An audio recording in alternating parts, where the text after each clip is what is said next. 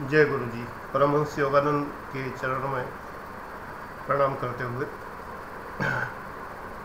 मैं doctor P K Dixit, Shekhar I S academy Ghaziabad से UPSC और PCS aspirants को आज इस वीडियो में ये बताना चाहता हूँ कि पहली बार में ही कैसे परीक्षा पास की जाती है प्री मेंस इंटरव्यू सब। परीक्षा पास करने का मतलब केवल प्री पास करना है संपूर्ण। लगभग एक सवा वर्ष की तैयारी में जैसा कि हम 15 मंथ देते हैं यहाँ शिखर आइस गाज़ियाबाद में तो उतने में आप फुल्ली प्रिपेयर हो सकते हैं। अगर आप ज़ीरो पर भी हैं तो भी मैं बिल्कुल लगभग ज़ीरो पर था और मैंने इसी प्रकार से तैयारी की थी। ऐसा नहीं कि वो ज़माना कोई और था। 1981, 82, 83 में पीसीएस हुआ। आईएएस की एज नहीं थी मेरी। लेकिन उस वक्त पीसीएस में तीन लाख लोग बैठा करते थे यूपी पीसीएस में। और प्री नहीं होता था, सोचिए कि इतनी सारी कॉपियाँ चेक होती थी। पूरी पूरी। It was very tough examination तेरह पेपर होते थे और कुल मिला जुला के चार सब्जेक्ट होते थे। मैथ्स पूरा होता था कंप्लीट मैथ्स होता था। उसके तो मुकाबले आज का मैथ्स कुछ है ही नहीं। It was very tough examination at that time also आज भी यही स्थिति है। मैं पंद्रह साल से पढ़ा रहा हूँ यहाँ और मेरे बहुत सारे सेकंड स्टूडेंट सेलेक्टेड हैं I S I P S P C S वगैरह सभी में। तो मुख्य बात यह है कि अगर आपने सिलेबस पढ़ लिया पूरा तसल्ली से, एक दिन पूरा लगाइए चाहे भले तो सिलेबस आपने अगर पढ़ लिया है तो समझिए कि आपने अपना 15 परसेंट लगभग काम पूरा कर लिया। 100 प्रतिशत काम कैसे पूरा पूरा किया जाता है, मैं बता रहा हूँ उसको 15 परसेंट काम आपका पूरा हो गया, क्योंकि आपका दिमाग भटकेगा नहीं, आपको पता है कि सिलेबस में है और ये नहीं है। आज के समय में यूपीएससी का सिलेबस काफ़ी एलेबोरेट है और बहुत अच्छे से एक्सप्लेंड है। इस ज़माने में एक्सप्लेंड नहीं हुआ करता था। तब ये होता था क्या पढ़ें, क्या ना पढ़ें। इसके बाद जो है, आप टेन ईयर पेपर्स जिन्हें कहते हैं बैक ईयर पेपर कहना चाहिए। मार्केट में प्रचलित है टेन ईयर पेपर वो कई बार सोलह साल के होते हैं, बाईस साल के होते हैं, तेईस साल के होते हैं, जो भी हो। कुल मिला के बैक ईयर पेपर लेकिन बहुत बैक मत जाइए। प्राचीन काल के पेपर सॉल्व मत करिए। देखिए आई में 2011 से चेंज चेंज हुआ है आ, इसका प्री का पीसीएस में 12 से यूपी पीसीएस में और टोटल मेंस का जो चेंज हुआ है यूपीएससी में वो हुआ है 13 से। तो आप 2010 से कम से कम अब तक के सारे पेपर एक बार पढ़ लीजिए। आपको बहुत सारे क्वेश्चंस में अर्थ ही समझ में नहीं आएगा मत आने दीजिए। मेरी बात मानेंगे तो सफल हो जाएँगे नहीं तो घिसटते रहेंगे। इसलिए पहले पढ़ डालिए मैं तीन साल के लिए कहता हूँ स्टार्टिंग में। आप कहेंगे, आज तो पाँच साल कह दिया। थ्री ईयर में कहता हूँ इसलिए कि शुरुआत में आप थ्री ईयर पढ़ें, लेकिन चूँकि ट्रेंड चेंज हुआ है, उससे एक साल पहले से अगर पढ़ लेंगे तो बेटर रहेगा। आपको भी समझ में आ जाए क्या ट्रेंड्स चेंज हुए। क्योंकि ट्रेंड्स का कोई भरोसा नहीं है, कब पुराना ट्रेंड लौटा है पैटर्न और ट्रेंड में फ़र्क होता है। दूसरी बात ट्रेंड एनालिसिस कभी मत करिए। जो तमाम दिल्ली कोचिंग्स कराती हैं, बहुत सारी ट्रेंड एनालिसिस पिछले बार ऐसी होती एनालिसिस उनकी कि पिछले बार संविधान से इतने क्वेश्चन आए थे, इस बार इतने आए, इस बार इतने आने की संभावना है। पहले ऐसे आए थे ग्राफ ऐसे जा रहा, ऐसे जा रहा, ऐसे जा रहा, ऐसे जा रहा। अब ये कुछ नहीं होता। टोटल एब्रप्ट है बिल्कुल, ये सब मत पढ़िए। आपको सारा पढ़ना है। अगर कहा गया संविधान तो संविधान पढ़ना है। अगर कहा गया इंडियन इकोनॉमी तो इंडियन इकोनॉमी पढ़नी है। Don't be choosy and don't be selective आपको केवल ये देखना है कि करंट अफेयर्स से एसोसिएट करके पढ़िए। हर चीज़ को करंट अफेयर्स जोड़िए। करंट में है तो पढ़िए एशियंट है तो छोड़ दीजिए। पुरानी है, बेकार है, कोई फ़र्क नहीं। कुछ क्वेश्चन आ जाते हैं कभी कभी तृतीय पंचवर्षीय योजना का फंड अलॉटमेंट कितना था फलाना ढमाका ऐसे कभी कभी यूपी पी में ऐसे क्वेश्चन आते हैं। वो उन लोगों के लिए आते हैं जिन्हें फेल होना होता है। मतलब सीधी बात है, बहुत साफ़ बात है। क्योंकि ये उन्हीं के लिए होते हैं जो इनमें उलझे रहते हैं। उन्हें छांटना होता है एक्चुअली कौन स्टूडेंट कौन सा स्टफ़ ऐसा है जो पास होने लायक है, कौन सा है फेल होने लायक फेल होने वाला, इसको पढ़ने में इतना टाइम लगाता है, फिर एग्ज़ाम में 20 क्वेश्चन सॉल्व करके बड़ा खुश होता है। मैंने 20 क्वेश्चन सॉल्व कर लिए, मुझे आगे किसी को नहीं आए। सही बात है, किसी को नहीं आए। मान लो कोई कहने लगे कि वो जो है, अकबर जिस हाथी पे चढ़ता था, उसका कौन सा कान छोटा था, कौन सा बड़ा था, इस तरह के बेकार के क्वेश्चन ये कोई क्वेश्चन है नहीं वैसे। मैंने अभी भी बनाया है, तुरंत निर्मित है, ताज़ा एकदम अभी। तो इस तरह क्वेश्चन पेपर सेटर भी बनाते हैं। और उन क्वेश्चंस के पीछे स्टूडेंट इतनी मोटी मोटी किताबें जो है प्रैक्टिकली और इतनी मोटी मोटी किताबों में डूबे रहते हैं और इन्हीं को पढ़ते रहते हैं और बीस क्वेश्चन ज़्यादा सॉल्व नहीं कर पाते। ये वाहियात क्वेश्चन इनको पढ़ने की ज़रूरत नहीं है। इनको बिना पढ़े आप पास हो जाएँगे। आप प्रॉपर पढ़िए, जो करंट से रिलेवेंट है, वो पढ़िए। हिस्ट्री में करंट नहीं होता, लेकिन करंट अफेयर नहीं होते मतलब करंट तो होता है बहुत ज़्यादा, उसमें करंट मारती ही बहुत ज़्यादा। तो करंट अफेयर नहीं होते उसमें। कभी कभी कोई साइट्स तो नहीं, कोई हड़प्पान साइट वगैरह मिल मिला गई हो कहीं इधर उधर तो आता रहेगा नॉर्मली नहीं होता। तो इसलिए आप ये ध्यान रखिए कि आपको सब पढ़ना है तो टेन ईयर पेपर्स में से पिछले तीन साल के, फिर धीरे से पाँच साल के उनको पढ़ें और उनको पढ़ के एक बार को ये देखें कि ट्रेंड है क्या, ये होता है ट्रेंड एनालिसिस मत करिए कि किस साल में history geography economics current affairs और कॉन्स्टिट्यूशन और इसके, उसके कितने कितने क्वेश्चन आए थे, उससे पिछले साल कितने आए थे, फिर आप ग्राफ बनाएँ। तमाम कोचिंग बने बनाए ग्राफ प्रोवाइड करती हैं पाई चार्ट बनाती हैं, देखने में बड़ा अच्छा लगता है। वाह वाह, क्या एनालिसिस है। एनालिसिस से कोई पास नहीं हुआ आज दिन तक। इसीलिए उनके जो महानुभाव जो पढ़ाने वाले हैं, कभी पास नहीं हुए। बिज़नेस अच्छा कर लेते हैं नो डाउट ये है, क्योंकि संसार में समझदार लोग बहुत कम हैं तो लोग जो हैं, निश्चित रूप से उनके बहकावे में आ जाते हैं। आप ये वीडियो देख रहे हैं, मेरा इसका मतलब आप समझदार तो हैं ही हैं डेफिनेटली क्योंकि मैं एक ही सेंटेंस बोलता हूँ, हमेशा हर वीडियो में कहता हूँ कि मैं आप पर ट्रस्ट करता हूँ, आप मुझ पर ट्रस्ट करते हैं। इसलिए ये हमारे आपके बीच का रिलेशन है क्रिटिक्स कृपया किनारे हो जाएँ, ये बात मैं हमेशा कहता हूँ। क्रिटिक्स की ज़रूरत नहीं यहाँ पर। मैं कोई आर्गूमेंट करने के लिए यहाँ पर नहीं हूँ। मैं अपने विचार देने के लिए यहाँ पर हूँ।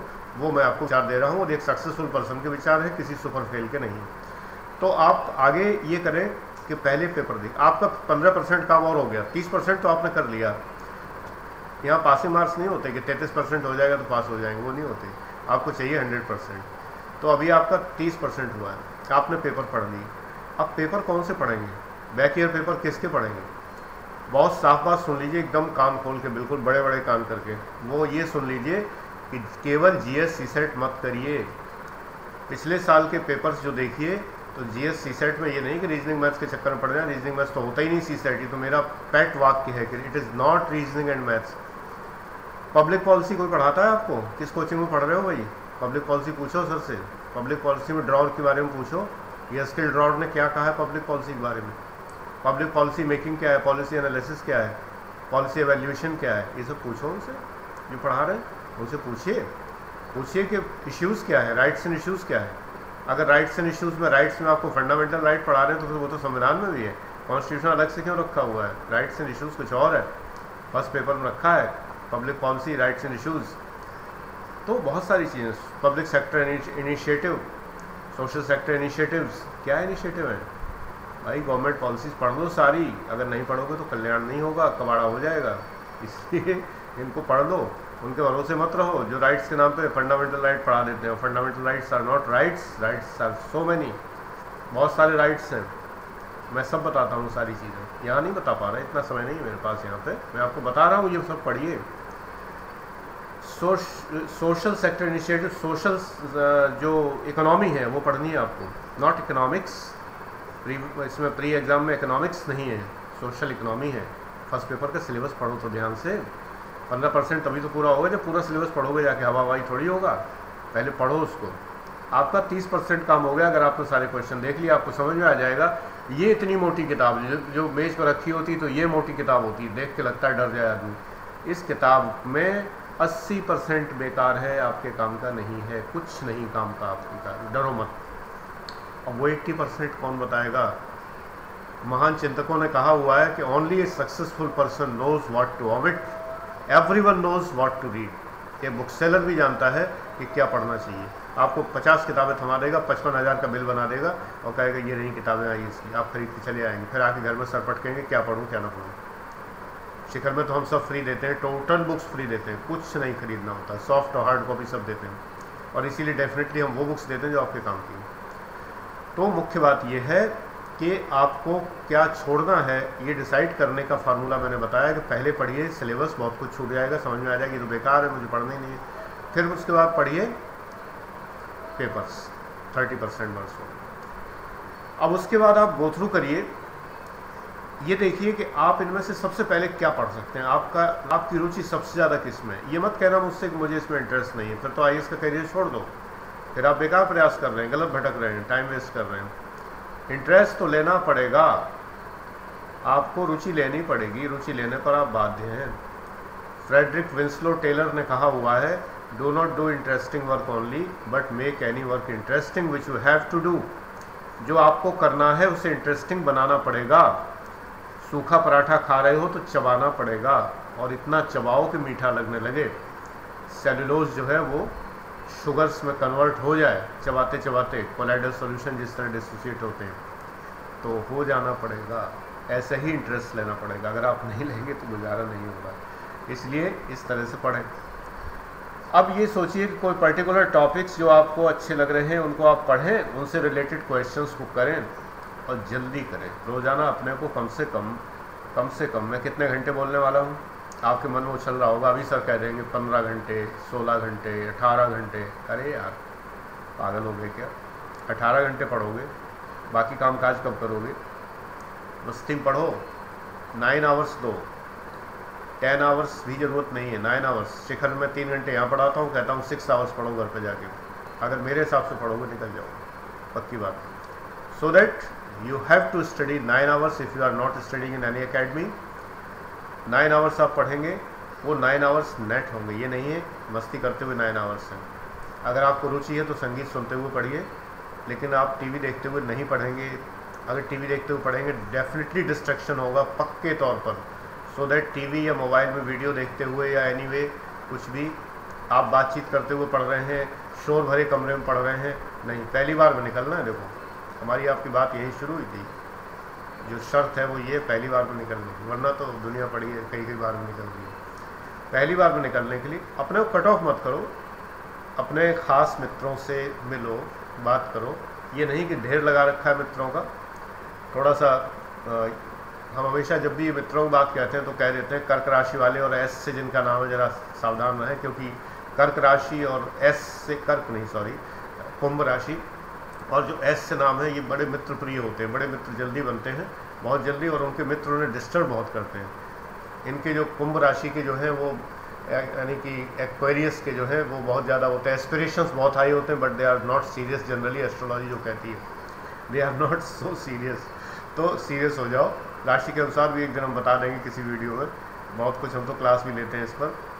बताते भी हैं और जिन्हें विश्वास नहीं ना माने, कोई दिक्कत नहीं है। उसमें कोई आर्गूमेंट की ज़रूरत नहीं कि ये, वो, फलाना का नथिंग अगर आपको विश्वास नहीं, मत मानिए। इट इज़ योर चॉइस यार। लाइफ आपकी है। आप मेरी बात, न सुनने को बाध्य हैं, न मानने को बाध्य हैं। So that no argument lies life में याद रखो, अगर फालतू आर्ग्यूमेंट में पढ़ोगे अननेसरी अपना टेंशन लोगे सीधी बात ये, आपको लगा, अरे सर तो जो है एस्ट्रोलॉजी की बात करने लगे। छोड़ो, हटाओ। नहीं देखते वीडियो। ठीक है, बटन आपके हाथ में खट से ऑफ़ किया, ख़त्म। दूसरा देखने लगे। जहाँ कहीं बढ़िया डांस हो रहे हैं, जहाँ कहीं बढ़िया जो है सॉन्ग्स आ रहे हैं, वो देखना शुरू कर दिया, बढ़िया मूवी आ रही है। क्या ज़रूरत है रूखा सूखा वीडियो देखने की? ये तो केवल एक पासिंग रेफरेंस है, केवल। If you believe I believe I have seen this is empirical so that I have seen तो थोड़ा सतर्क रहें। अगर मित्र मंडली बहुत बड़ी है आपकी तो उसको कट शॉर्ट करिए, पहले बता चुका हूँ, यहाँ दोबारा नहीं दोहराऊँगा तो इसलिए जो है, आप लाइफ को एन्जॉयमेंट मत छोड़िए। ये नहीं है कि लाइफ में आपने टोटल एन्जॉयमेंट छोड़ दिया। कि आपने बाहर जाना छोड़ दिया, मार्केट छोड़ दिया। हाँ ये अननेसरी मत जाइए। बीच मोट के मत जाइए। अपना स्टॉक पूरा रखो भाई। पहली बार में निकलना स्टॉक पूरा रखो। काहे का स्टॉक स्टॉक का मतलब है पेन पेंसिल कॉपियाँ किताबें। ये नहीं है कि जब लिखने बैठे, बड़ी मुश्किल में तो उसका मुहूर्त निकला कि आज लिखेंगे, आज नोट्स बनाएँगे। है ना? पता चला कि उसी दिन जो है आपका पेन नहीं काम कर रहा, दूसरा देखा वो भी नहीं काम कर रहा। गुस्से में तोड़ के फेंक दिया, एक तो गुस्सा और आ गया टेंशन भी हो गया। अब बाज़ार जाएँगे, तब जाएँगे, बाज़ार गए, पता लगा आज तो मंगलवार है, जिन जिन शहरों में मंगल को बाज़ार बंद होता है, वहाँ की दशा, आज तो मंगलवार है, स्टेशनरी दुकान बंद है, फालतू में आना हुआ, रास्ते में एक दोस्त मिल गया, उसके साथ बैठ गए, फिर मूवी चले गए, खाना पीना मॉल फॉल शॉल शाम को रात बजे दस बजे लौटे। हो गया कबाड़ा, एक पेन ने कर दिया कबाड़ा आपका। तो इसलिए क्या है कि ये स्टॉक रखो अपना, इकट्ठे लेके रखो, पेन पेंसिलें नोटबुक्स वगैरह, कौन सा, उसमें बहुत बड़ा भारी खर्चा है। आगे काम आता रहेगा। कोई ऐसा तो नहीं कि कोई कॉपियाँ खाने की चीज़ें ज़्यादा खा जाएँगी। वो तो है नहीं। तो इन सब चीज़ों को रखो अपने पास में। मैनेज करोगे लाइफ तो मैनेज रहेगी। निकलना आईएस में है बड़ी चीज़ है तो बड़ी चीज़ को बड़ी तरह से करना पड़ेगा। छोटी छोटी बातों से बड़ी बड़ी बातें बनती हैं। इसलिए ये छोटी बातें ध्यान रखिए। बहुत बड़े असर डालती हैं इसको। बटरफ्लाई इफ़ेक्ट कहते हैं साइकोलॉजी में। ये बटरफ्लाई इफ़ेक्ट है। तो इसमें बहुत छोटी छोटी बातें बहुत बड़े प्रभाव डालती हैं। इसके बाद आपको अभी तीस परसेंट से आगे नहीं बढ़े हैं। तो उसके लिए आपको क्या करना है? उसके लिए आपको ये करना है, पहली बात नोट्स बनाने पड़ेंगे। नोट्स बनाए बिना गुजारा नहीं है। शिखर में तो हम बनवाते हैं सारे सब्जेक्ट के नोट्स तो हम मना कर देते हैं, मत बनाओ। केवल रिवाइज करो। लेकिन आप नहीं पढ़ रहे हैं तो आपको बनाने पड़ेंगे। नोट्स कैसे बनाएँ? कोई फार्मूला नहीं है। लोग जो कहते हैं, ऐसे बनाए, वैसे बनाए, उल्लू बनाते हैं। नोट्स बनाना आपकी अपनी कला है। अगर आपने अभी तक ग्रेजुएशन किया, तभी तो आइए से बैठ रहे हो। ग्रेजुएशन किया था अब तक क्या कर रहे थे? नोट्स नहीं बनाए? गाइडे पढ़ पढ़ के पास हो गए। वो नॉलेज काम नहीं आएगी। नोट्स तो बनाना सीखना पड़ेगा, चाहे पाँच साल लगे, चाहे चार साल लगे। लेकिन पहली बार निकलना है तो नोट्स बनाना आपको आना चाहिए। मैं क्या बताऊँगा, मैंने दो वीडियो बता रखा है हिंदी, इंग्लिश के शॉर्ट में। पंद्रह पंद्रह मिनट के वीडियोज़ में भाई आप नोट्स कैसे बनाए, इतने बताया जा सकता ये कला आपकी है, ये खुद की है। अपनी पर्सनल है। आप कहें, मैं खाना कैसे खाऊं? मैं सांस कैसे लूँ? ये तो वही वाली बात हो गई। आपको लेना है सांस, फेफड़े आपके भोजन आपका है, हाथ आपके मुँह आपका है। खाना आपको खाना है डाइजेस्ट आप करेंगे, फ़ायदा आपको मिलेगा विटामिन मिनरल्स पोषण सब आपको मिलेगा। नोट्स तो आपको बनाने पड़ेंगे, मैं क्या बताऊँगा तो ये नोट्स कोई नहीं बताएगा आपको, जो भी बताते हैं वो गलत बताते हैं। रीज़न ये ना कि नोट्स में आपका वर्स्टहन काम करता है। Verstehen is a German word given by Max Weber इसका मतलब अब तक की जो नॉलेज आपने एक्यूमुलेट की है वो नॉलेज काम करती है। मुझे क्या पता आपने क्या नॉलेज एक्मुलेट कर रखी है? कौन कौन सब्जेक्ट आपने पढ़े हैं? कौन सी किताबें पढ़ी हैं? किन गुरुजनों का जो है आपने, जो बताया हुआ अपने दिमाग में रखा है? समाज से आपने क्या लिया है? आपका नेचर क्या है? आपका एटीट्यूड क्या है? How can I predict so that how can I tell you to make अपने स्टूडेंट्स जो यहाँ पढ़ रहे हैं, उनको तो मैं जान रहा हूँ कि वो, उनका एटीट्यूड मुझे पता है, सारी चीज़ें पता है, मैं उन्हें बता भी देता हूँ कि अगर बनाना है तो ऐसे बताओ, बनाओ। लेकिन मैं आपको कैसे बता सकता हूँ? आप मेरे सामने पूरे व्यक्तित्व के साथ नहीं है। मैं जल्दी ही आपको एक फॉर्म भी रखने वाला हूँ अपने उस पर फेसबुक पर फिलअप करने वाला फॉर्म। जो आप अपने व्यक्तित्व के बारे में फॉर्म फिलअप करके मुझे भेज सकते हैं एनालिसिस के लिए फ्री ऑफ़ कॉस्ट बिल्कुल मैं आपके एनालिसिस करके आपको बता दूँगा। आप में ये कमियाँ हैं, क्या है? आपसे भी पूछूँगा आपकी कमियाँ क्या हैं, और वो भी पूछूँगा। वो भी करने वाला हूँ but it will take time so that क्योंकि अभी मैं थोड़ा उस टेक्निकलिटी में पहुँचा नहीं हूँ, आज ही मैंने सोचा है तो मैं करूँगा ज़रूर, क्योंकि मैं डिटर्मिन कर लेता हूँ तो मैं इरादे का पक्का हूँ, बिल्कुल। मैं चाहता हूँ मैं आप लोगों से पूरी तरह जुड़ूँ, और टोटली फ्री ऑफ़ कॉस्ट जुड़ूँ, इसमें कोई चार्जेस मैं नहीं रखूँगा कि स्टार्टिंग में कह दिया फ्री है, बाद में कह दूँ ये। ठीक है, पढ़ाने के चार्जेस हैं डेफिनेटली मेहनत है, वो हमारा इस समय का करियर है रिटायरमेंट का, और डेफिनेटली रिटायरमेंट के बहुत पहले से ही मैंने अडॉप्ट कर लिया उसे। तो वो तो ज़रूरी है, लेकिन इसके अतिरिक्त उसमें कोई ऐसा लालच की प्रवृत्ति नहीं है कि मुझे करोड़ों कमाने हैं कि क्या करना है। बहुत छोटा सा क्लास होता है, पैंतालीस का क्लास होता है। आप देख सकते हैं। This is the class full fledged fully equipped class ये मेरी लाइब्रेरी है। टेन थाउज़ेंड बुक्स करीब करीब मेरी है। स्टूडेंट्स के लिए बिल्कुल नहीं है, ये केवल पर्सनल मेरी लाइब्रेरी है। स्टूडेंट्स को तो मैं दे देता हूँ बहुत सारी किताबें। इतनी देता हूँ कि जो वो संभालते संभालते थक जाए। उतनी मैं दे देता हूँ। So this is the class मैं क्लास में बैठ कर ही आपसे बात करता हूँ। कभी कभी मैं अपना रेस्ट रूम में बैठ के बात करता हूँ। ध्यान कक्ष में, पूजा कक्ष जो है, वही रेस्ट रूम मेरा। उसमें बैठ के बात करता हूँ। दो दो रूम्स बस यही है कुल मिला इसमें सब कुछ है। इसमें से सैकड़ों आई निकल गए। टी निकल गए आईपीएस निकल गए। प्रमाण मौजूद है, अखबारों में न्यूज़ है। तो आप इस तरह करें कि इसके बाद जो है आप नोट्स बनाना शुरू करें। नोट्स बनाने के लिए आप, कई बार आप कुछ बहाने गढ़ते हैं। बहाने ये गढ़ते हैं कि सर मैं सारे सब्जेक्ट एक साथ पढ़ूँ, कि मैं दो दो सब्जेक्ट तीन तीन एक साथ लूँ। भाई ये आपका काम है, ठेका आपने लिया है। आपको आई बनना है? किसने कहा था बनने के लिए? किसने कहा था? आपके दिल ने कहा? मम्मी पापा ने कहा तो मत बनो, नहीं बन पाओगे। खाली मम्मी पापा कहने से, दोस्तों को दिखाने के लिए, पड़ोसी को जलाने के लिए। पड़ोसी से बदला लेने के लिए। मत बनो। बन नहीं पाओगे। ये भावना अगर। अगर आपके दिल ने कहा है, आत्मा ने कहा है कि आप आई बने, बनिए, बन जाएँगे। तो आप अगर जवाब देते हैं कि मेरी आत्मा ने कहा है तो आपने ठेका किसको दिया पढ़ने का? अपने को। आप ठेकेदार हैं, आप ही मालिक हैं, आपने अपने को ठेका दिया है कि आप आई बनेंगे। मैं कहा हूँ बीच में? मैं तो नहीं आया ना यहाँ। मैंने ना कहा आपसे, ना मैं बनने जा रहा हूँ, मैं तो बन चुका। इसलिए चाहे आप दो दो सब्जेक्ट पढ़ो, चाहे एक एक पढ़ो, चाहे पाँच पाँच पढ़ो। ठेकेदारी है, चारों दीवारें एक साथ शुरू कर दो, ईंटें लगानी तो पूरा कमरा उठ जाएगा। और एक दीवार एक बार बनाओगे, फिर दूसरी दीवार बनाओगे, फिर तीसरी बनाओगे, यही है राजगिरी। करना यही पड़ेगा विशुद्ध रूप से। और एक बात और बताएँ, शुरुआत की पढ़ाई होती है, नींव जो दिखाई नहीं देती, बड़ी मज़बूत होती है, दिखती नहीं है, मेहनत बहुत लगती है, पैसे भी बहुत लगते हैं। ये शुरू की पढ़ाई है। नींव दिखती नहीं है, बदसूरत होती है। काले रंग की ईंटें लगती हैं, काला काला तारकोल वगैरह भी कभी कभी डाला जाता है और पता नहीं क्या क्या डाला जाता भगवान जाने मैसेंस जानते होंगे क्या डाला जाता है, मैं तो देखता हूँ, बनते हुए कभी कभार तो मुझे लगता है कि नींव जो है, जितनी ही बदसूरत होती है, उतने खूबसूरत मकान खड़ा होता है उसके ऊपर। तो नींव के लिए आपको मेहनत जो करनी पड़ेगी, वो एग्ज़ाम में नहीं आएगी। Once again I am repeating बहुत सारी पढ़ाई आपकी एग्ज़ाम में नहीं आने वाली है बट उस पढ़ाई के बिना आप आगे बढ़ ही नहीं सकते। आप ये कहिए कि ग्राउंड फ्लोर पर आप नहीं चढ़ेंगे और आप थर्ड पे पहुँच जाएँगे तो कैसे पहुँचेंगे? ग्राउंड फ्लोर की सीढ़ियाँ चढ़नी पड़ेंगी सेकंड फ्लोर की फ़र्स्ट फ्लोर की पढ़ चढ़नी पड़ेगी सेकंड की चढ़नी पड़ेगी, तब आप थर्ड पे पहुँचेंगे। तो ये ग्राउंड बना रहे हैं आप। इसलिए अगर ग्राउंड बनाना है तो भाई एक साल में तो बहुत मुश्किल है। ग्राउंड बनी बनाई है, आपकी वर्स्टैन बहुत अच्छी है, अभी मैं बता चुका हूँ वर्स्टैन के बारे में। आपकी वर्स्टैन बहुत अच्छी है। आपको सारे ये जो जितने सोशल साइंसेस के सब्जेक्ट्स हैं, ये सारे सारे आपको बहुत अच्छे से क्लियर है। इसके बाद आप पढ़ना शुरू करते हैं तो then you can do very well and in one year you can do लेकिन अगर ये मज़बूत नहीं है तो या तो मज़बूत बनाओ रात रात भर पढ़ो, फिर बैठ के। फिर घंटे नहीं गिने जाते। मैंने नहीं गिने कभी मैं आपसे कह रहा हूँ नाइन आवर्स मैंने नहीं गिने।